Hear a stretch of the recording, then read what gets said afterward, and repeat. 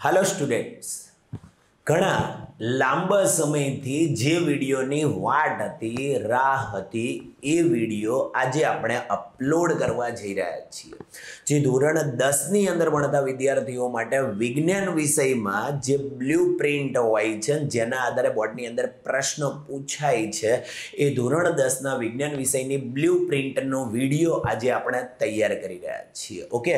તો એ blue print છે તમને ખબર છે, એના આધારે પ્રશ્નો પૂછાય છે અને ઘણા વિદ્યાર્થી મિત્રો છે એ એના આધારે જ કે અમારે કયું ચેપ્ટર વાંચવું, કયા ચેપ્ટરમાંથી કેટલા માર્ક્સનો સવાલ પૂછાય છે, કયા ચેપ્ટરનો ગુણભાર વધારે છે, તો અમે એ ચેપ્ટર ઉપર વધારે ફોકસ કરી શકીએ. એના માટેની જે તૈયારી માટે જરૂરી બ્લુ પ્રિન્ટ છે, એનો વીડિયો આપણે આજે અપલોડ કરી રહ્યા છીએ. તો હેલો વિદ્યાર્થી મિત્રો, હું છું ડીએમ પટેલ અને તમે ભણી રહ્યા છો ધોરણ દસનું વિજ્ઞાન ઓકે? આપણે સીધા બ્લુ પ્રિન્ટની અંદર પહોંચી જઈએ છીએ આ રહ્યું. ચેપ્ટરના નામ છે ઓલરેડી લખેલા છે. કેમ? કારણ કે તમને ખબર છે, એમાં આપણે સમય વેસ્ટિંગ કરવાની જરૂર બિલકુલ નથી. તો ધોરણ દસના વિજ્ઞાન વિષયમાં ટોટલ ચેપ્ટરની સંખ્યા કેટલી છે? સોળ, જે તમે અહીંયા જોઈ શકો છો. સોળ ચેપ્ટર છે, એમાં એકથી પાંચ ચેપ્ટર કેમેસ્ટ્રીના ચેપ્ટર છે, જેમાં ખાલી સમીકરણ સમીકરણ સમીકરણ. જે તમને પડે છે થોડા હાર્ડ હાર્ડ હાર્ડ તો એ સમીકરણ બનાવવા જેના માટે અઘરા છે, પણ હા, અમુક ચેપ્ટર એવા છે જેની અંદર તૈયાર કરી નાખો અમુક સવાલ તો માર્ક્સ આવી શકે છે પૂરા. ઓકે? તો એવા આપણે પહેલાં ચેપ્ટરના નામ એક વખત ફાસ્ટ બોલી નાખીએ. સોળ ચેપ્ટરની જો તમે શરૂઆત કરો, તો પહેલાં પાંચ કેમિસ્ટ્રીના ચેપ્ટર છે. પહેલું ચેપ્ટર કયું છે? રાસાયણિક પ્રક્રિયાઓ અને સમીકરણ. બીજું જો એસિડ બેઝ અને ક્ષાર. ત્રીજા નંબરમાં જો ધાતુ અને અધાતુ. ચોથા નંબરમાં કાર્બન અને તેના સંયોજન અને પાંચમા નંબરમાં છે તત્વોનું આવર્તી વર્ગીકરણ. આમ કેમિસ્ટ્રીમાં ટોટલ કેટલા ચેપ્ટર છે? પાંચ. એના પછી આવતા તો બાયોલોજી પાર્ટ શરૂ થાય છે. એની અંદર ચાર ચેપ્ટર આપ્યા છે, જેમાં પહેલું એટલે કે છ નંબરનું ચેપ્ટર છે, જૈવિક ક્રિયાઓ. એનાથી આગળ વધો, સાત નંબરનું ચેપ્ટર છે, નિયંત્રણ અને સંકલન. આઠ નંબરનું ચેપ્ટર છે, સજીવો કેવી રીતે પ્રજનન કરે છે અને નવ નંબરનું ચેપ્ટર છે, આનુવંશિકતા અને ઉદ્વિકાસ. આ ચેપ્ટરને આપણે કહીએ છીએ બાયોલોજી ચલો, એનાથી થોડા આગળ વધીએ તો નીચેના ચાર ચેપ્ટર ફિઝિક્સના ચેપ્ટર છે, બહુ હાર્ડ બની શકે છે. એને સમજો. દસ નંબરનું ચેપ્ટર છે, પ્રકાશ, પરાવર્તન અને વક્રીભવન. એવી જ રીતે અગિયાર નંબર, માનવ આંખ અને રંગબેરંગી દુનિયા. બારમું ચેપ્ટર વિદ્યુત અને તેરમું ચેપ્ટર વિદ્યુત પ્રવાહની ચુંબકીય અસરો. એનાથી આગળ છેલ્લે ત્રણ ચેપ્ટર આપ્યા છે અને પર્યાવરણના ચેપ્ટર કહેવાય. પર્યાવરણના ચેપ્ટરમાં ટોટલ ત્રણ જ છે. ચૌદમું, ઉર્જાના સ્ત્રોતો. પંદરમું, નથી તમારું, નથી અમારું, મતલબ આપણું પર્યાવરણ. અને સોળમું, નૈસર્ગિક સ્ત્રોતોનું ટકાઉ પ્રબંધન. તો આ સોળ ચેપ્ટરની અંદર જેટલા માર્ક્સનું પૂછાય છે થોડું ડીપલી સમજી લઈએ. તો જોઈ લો, ચેપ્ટર સોળની અંદર પહેલું જે આપણે ખાનું બનાવેલું છે, તમને ખબર પડી ગઈ માર્ક્સનું છે, મતલબ કયા ચેપ્ટરમાં કેટલા માર્ક્સનું પૂછાય છે. બાકીના ખાના બનાવ્યા છે, એનો મતલબ તમને એક વખત સમજાવી દઉં અહીંથી.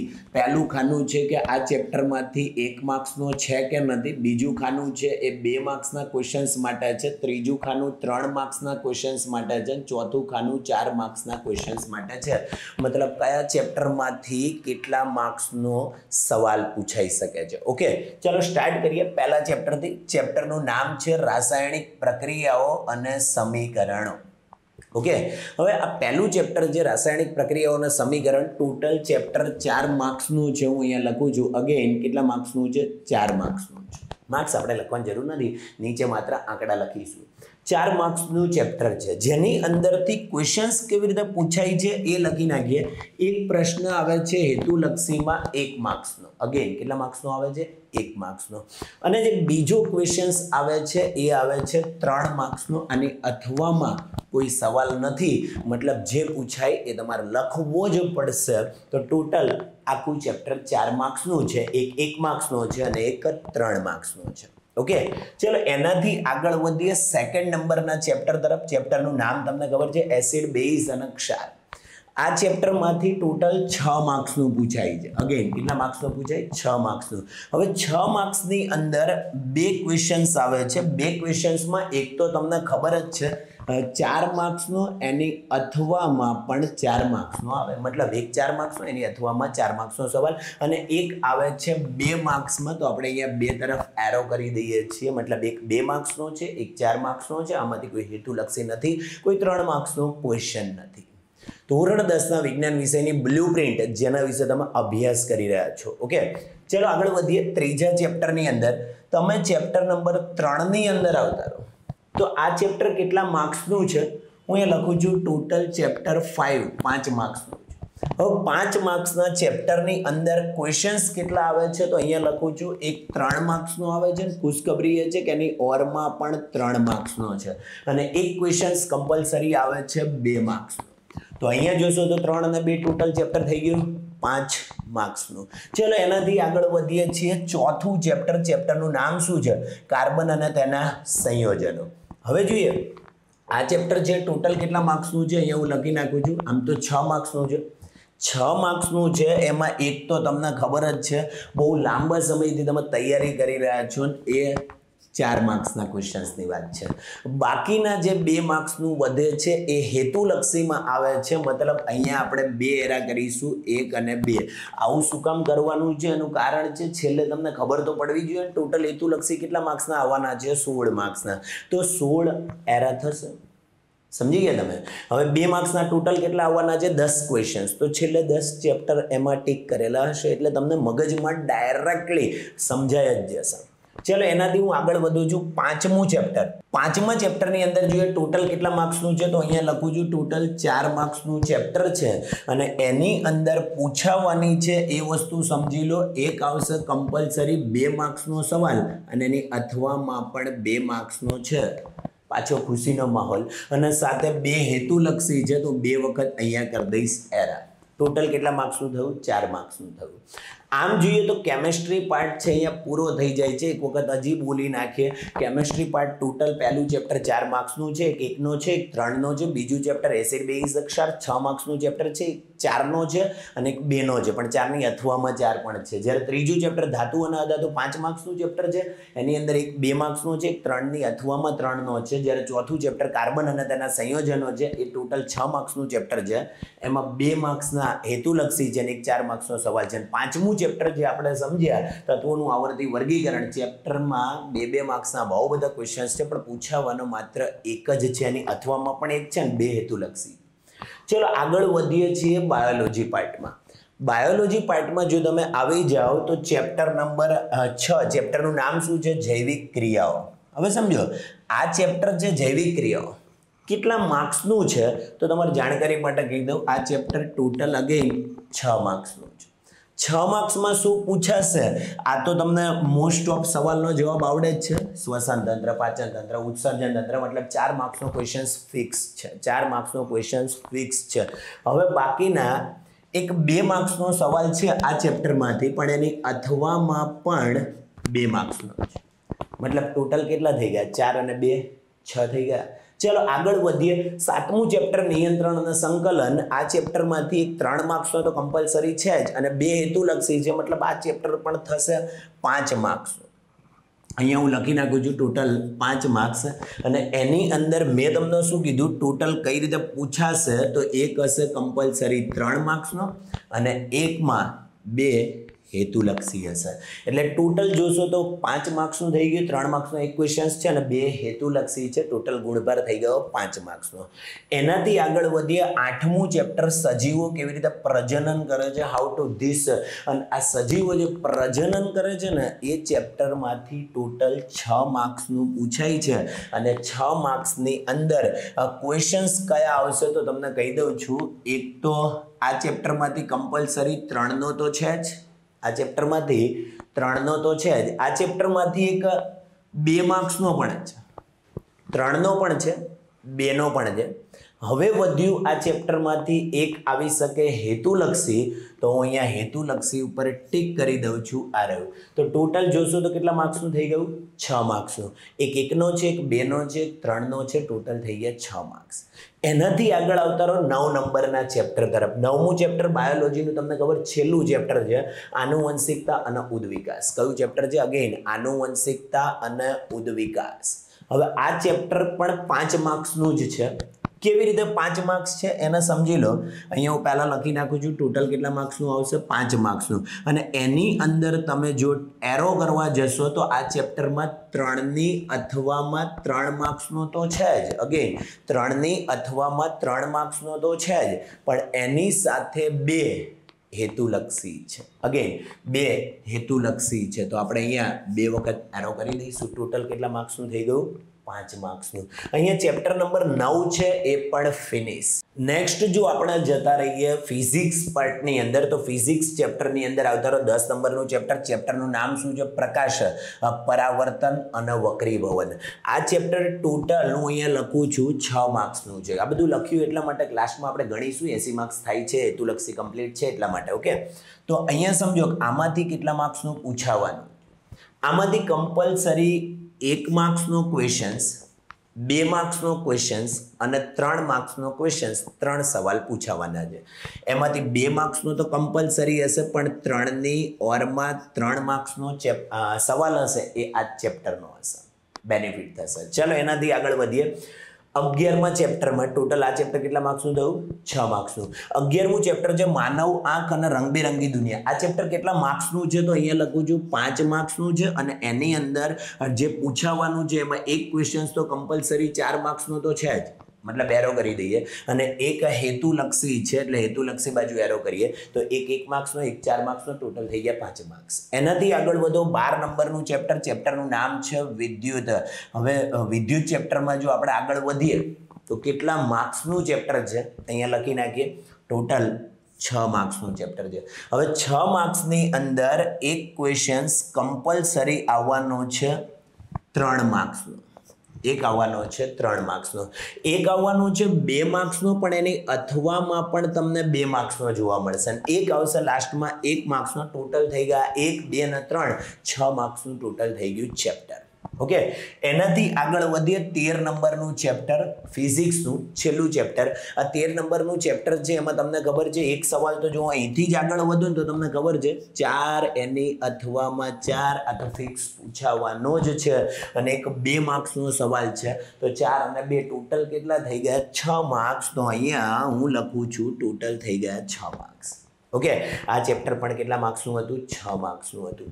તો અહીંયા બારમું ચેપ્ટર જોયું, તેરમું ચેપ્ટર પણ જોયું. બંને કેટલા છે? છ છ માર્ક્સના ચેપ્ટર છે. હવે જે લાસ્ટમાં વધ્યા છે, એ વધ્યા છે માત્ર ચૌદ, પંદર અને સોળ ત્રણ ચેપ્ટર અને તમને ખબર છે, પર્યાવરણના ચેપ્ટર છે, ઘણા એમાં ફેંકી ફેંકીને નીકળી જાય છે. પણ ઘણી વસ્તુમાં આગળ વધતા પહેલાં તમને એક વસ્તુ કહેવા માંગુ છું, એ સમજો કે દરેક સ્ટુડન્ટ હોય ને, એ અલગ અલગ મેન્ટાલિટી ધરાવે. ઘણા એવા હોય કે જ્યારે એને કોઈ આઈએમપી ક્વેશ્ચન્સ આપ્યા હોય, માની લો કે એને બધા જ આઈએમપી ક્વેશ્ચન્સ પૂછાયા છે, પણ જ્યારે એણે પેપર હાથમાં લીધું અને પહેલો આઈએમપી સવાલ ના પૂછાયો, એટલે તમે જો એનો ફેસ આ રીતે એ આવ્યું એ, પૂછ્યું, આપ્યું એમાંથી તો કશું આવ્યું જ નહીં. પણ એના નીચેના ક્વેશ્ચન્સ જોવાના છે, પહેલાં નીચેના તો જુઓ, બાકીના બધા સેમ છે જે આપેલા જ. અને એ એક ક્વેશ્ચન્સના લીધે રિઝલ્ટની તમને ખબર છે, શું હાલત થાય છે? ઘણા એવા પણ જવાબ આપતા હોય છે ભલે ક્વેશ્ચન્સ ના પૂછાયો પણ આવા જવાબ આપતા હોય કે ટોટલ કેટલા માર્ક્સ આવ્યા એંસીમાંથી કે મારા પાંત્રીસ જ આવ્યા કેમ કે ભાઈ મને કીધું તું એમાંથી ભાઈ પૂછાયું? બે એક જ સવાલ છે. મતલબ એના ઉપર ફોકસ કરો, મગજથી સ્ટ્રોંગ બનો, તો રિઝલ્ટ આવશે. ઓકે? બધા જાતે પોતાની તૈયારીમાં આગળ વધો, એમાં તમને વધારે મજા આવશે. ચાલો એક અહીંયા આગળ વધી જઈએ. ચૌદ નંબરના ચેપ્ટર તરફ. હવે ચૌદમું ચેપ્ટર છે, કેટલા માર્ક્સનું છે, તો અહીંયા હું લખું છું, આ ચેપ્ટર ચાર માર્ક્સનું છે. અહીંયા બાજુમાં લખી જ નાખું છું. આ ત્રણ માર્ક્સનું છે ને, આ પણ ત્રણ માર્ક્સનું છે. આ ત્રણેય પર્યાવરણના ચેપ્ટર છે. ચૌદમું ઉર્જાના સ્ત્રોતો, ચાર માર્ક્સનું છે. પંદરમું ત્રણ માર્ક્સનું છે. અને સોળમું પણ કેટલાનું છે? ત્રણ માર્ક્સનું છે. એમાં ક્વેશ્ચન્સ કઈ રીતે આવે છે? ચાલો એને સમજી લઈએ.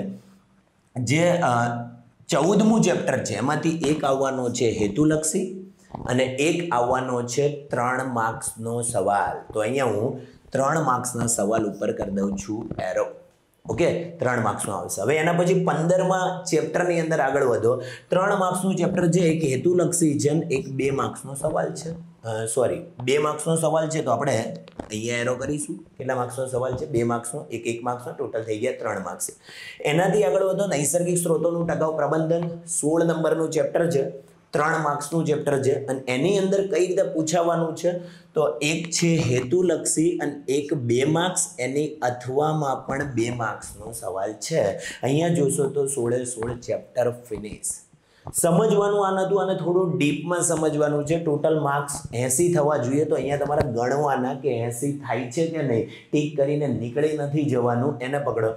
ચાર અને છ દસ દસ અને પાંચ પંદર પંદર અને છ એકવીસ અને ચાર પચીસ. એનાથી આગળ વધો. પચીસ અને છ એકત્રીસ એકત્રીસ અને પાંચ. કેટલા થયા? છત્રીસ. છત્રીસ અને છ બેતાલીસ અને પાંચ સુડતાલીસ અને છ. સુડતાલીસ અને છ ત્રેપન. એ અ, સરવાળા છે ને માસ્ટરી છે સમજો કેટલા થયા? ત્રેપન માર્ક્સ એનાથી પાંચ આગળ વધો. ત્રેપન અને પાંચ કેટલા થશે? અઠ્ઠાવન. અઠ્ઠાવનથી આગળ વધો છ. અઠ્ઠાવન અને છ, મતલબ થઈ ગયા ચોસઠ અને છ. ચોસઠ અને છ કેટલા થશે? સિત્તેર. સિત્તેર અને ચાર, ચુમ્મોતેર અને ત્રણ, સિત્યોતેર અને ત્રણ, એંસી. અહીંયા એંસી માર્ક્સનું ચેપ્ટર જે ગુણભાર છે એ અનુસાર પૂરા થાય છે. હવે એ સમજો, સેક્શન એમાં ટોટલ કેટલા સવાલ પૂછાવાના છે? જવાબ, સેક્શન એમાં ટોટલ સોળ સવાલ પૂછાવાના છે. અગેન એક માર્ક્સના ટોટલ કેટલા પૂછાવાના છે? સોળ. તો એને સમજો અહીંયા એક, બે, ત્રણ, ચાર, પાંચ, છ, સાત, આઠ, નવ, દસ, અગિયાર, બાર, તેર, ચૌદ, પંદર, સોળ. ફિનિશ, મતલબ સેક્શન એ પૂરો. આગળ વધો સેક્શન બી ની અંદર કેટલા સવાલ આવવાના છે? દસ સવાલ. એનો ગુણભાર કેટલો છે? વીસ માર્ક્સનો તો અહીંયા હું લખું છું વીસ. અને ટોટલ દસ સવાલ થવા જોઈએ. જેની અથવામાં ચાર સવાલ થવા જોઈએ તો અહીંયા જોઈ લો. એક, બે, ત્રણ, ચાર, પાંચ, છ, સાત, આઠ, નવ અને દસ. અથવામાં કેટલા થવા જોઈએ? ચાર. એક, બે, ત્રણ અને ચાર. ફિનિશ સેક્શન બી પણ પૂરો. આગળ વધો. સેક્શન સી જે ટોટલ ચોવીસ માર્ક્સનો સેક્શન છે. તો ચોવીસમાં આઠ તારીખ ચોવીસ, આઠ સવાલ હોવા જોઈએ. ત્રણ ત્રણ માર્ક્સ અને ત્રણ અથવામાં, ચાલો આઠ ગણીએ. એક, બે, ત્રણ, ચાર, પાંચ, છ, સાત, આઠ. અથવામાં ત્રણ, એક, બે, ત્રણ. મતલબ સેક્શન સી ફિનિશ આગળ વધુ સેક્શન ડીની અંદર. અહીંયા હું ચાર માર્ક્સમાં આવતો રહું તો એક, બે, ત્રણ, ચાર, પાંચ. કેમ? કારણ કે સેક્શન સી જે ચોવીસ માર્ક્સનો છે એમ સેક્શન ડી જુઓ તો કેટલા માર્ક્સનો છે? વીસ માર્ક્સનો છે. આમ જોશો તો ટોટલ કેટલા માર્ક્સ થશે? એંસી માર્ક્સ, જેનું એંસી માર્ક્સનું પેપર આવવાનું છે. ઓકે હવે આમ જોઈએ તો બીજું, ચોથું, છઠ્ઠું, અગિયારમું અને તેરમું આ પાંચ ચેપ્ટર એવા છે કે જેની અંદર તમે ચાર ચાર માર્ક્સના ક્વેશ્ચન્સ તૈયાર કરી શકો.